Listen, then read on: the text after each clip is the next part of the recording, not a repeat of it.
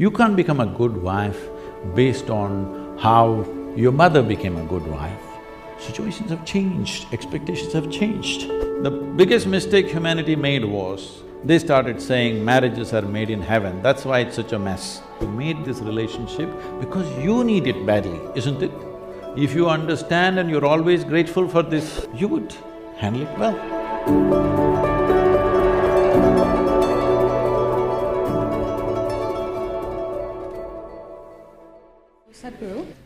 Mothers have set amazing benchmark.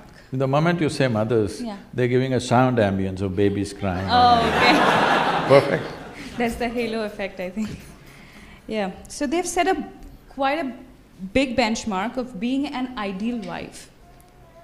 However, I, or girls of my generation, feel that we cannot be as good as wife as my mother has been, or our mothers have been. So should I feel that I am falling short of my in my personal life, or should I feel that I'm not giving enough justice to my marriage once I'm married? How should I feel about this?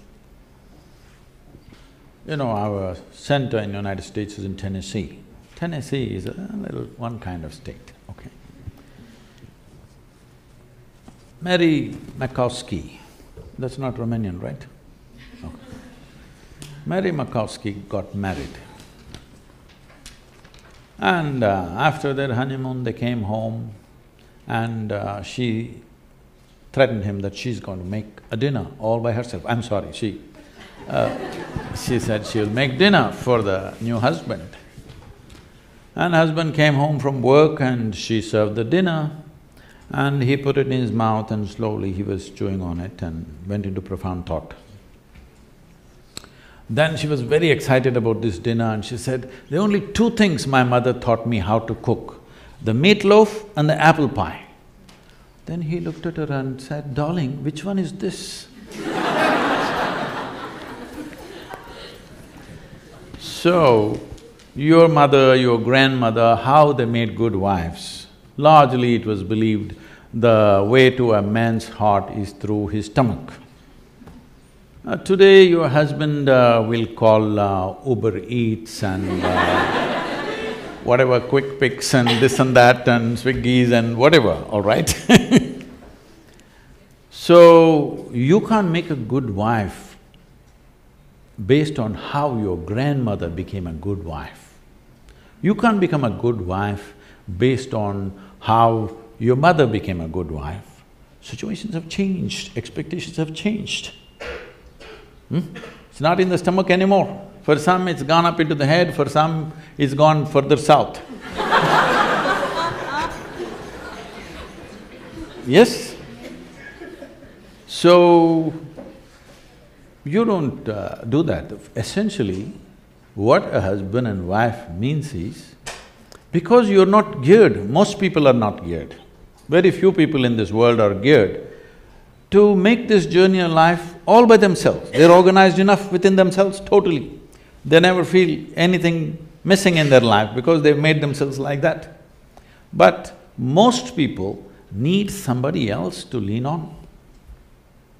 Either emotionally, psychologically, there are needs in a human being, physical needs, psychological needs, emotional needs, maybe social needs, economic needs, variety of needs. To fulfill these needs, you want to find one person that you can depend on. Because it's very difficult even to find one person who… with whom you can share everything that you have, your body, mind, emotion and works. So this is the idea. Formalizing it is so that every time you get little… some little friction, you don't fall apart, so little tying up so that things don't fall apart very easily, all right? Nothing else. The biggest mistake humanity made was, they started saying marriages are made in heaven, that's why it's such a mess. What's done here? If you see, marriages are made between us and we took responsibility for who we are, ah, we could have made it work, but the damn thing is made in heaven. Not suitable here, it's because it's alien stuff. Everything is a mess because you think it's made elsewhere by somebody else. If you understand it's made by you for your well-being, to fulfill your needs and your purposes so that you can go through this journey of life with least amount of trouble and friction, then you would handle it more responsibly, isn't it? And according to contemporary needs, not how your grandmother did her marriage. You can't do it that way because expectations and situations have completely altered themselves.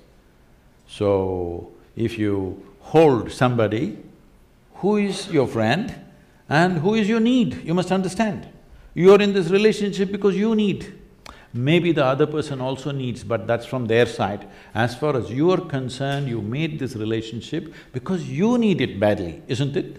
If you understand and you're always grateful for this, that somebody is fulfilling all your need, you would handle it well. You wouldn't make a misery out of it. But now you think somebody else needs you, then you will make a mess out of it. You understand, you need it.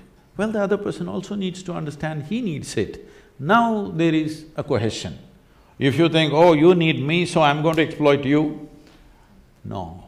This is not about you squeezing happiness out of somebody or they squeezing happiness out of you. If two happy people meet, then there can be something wonderful happening between them.